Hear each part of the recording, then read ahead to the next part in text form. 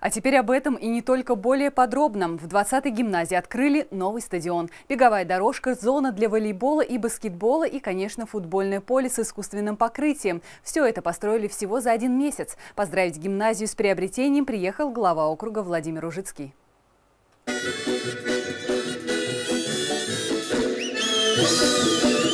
Спортивный подарок и все по-спортивному. Зарядка для здорового тела и духа, танцы и отличное настроение. Теперь на новой спортплощадке есть все необходимое.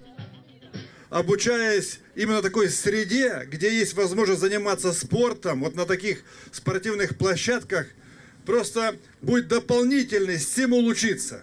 Да или нет? Конечно, да. Поэтому, друзья мои, всех с праздником, потому что на самом деле смотришь и получаешь огромное удовольствие от того, что здесь происходит.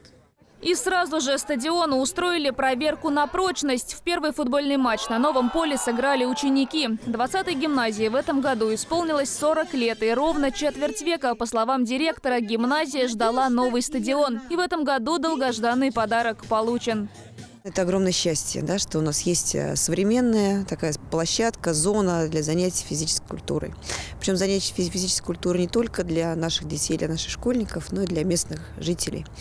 А, когда только начали строить стадион, приходили наши бабушки, которые здесь живут, родители наших детей. Все же живут здесь, в нашем микрорайоне. Нас поздравляли с этим замечательным событием, что мы наконец начали строительство.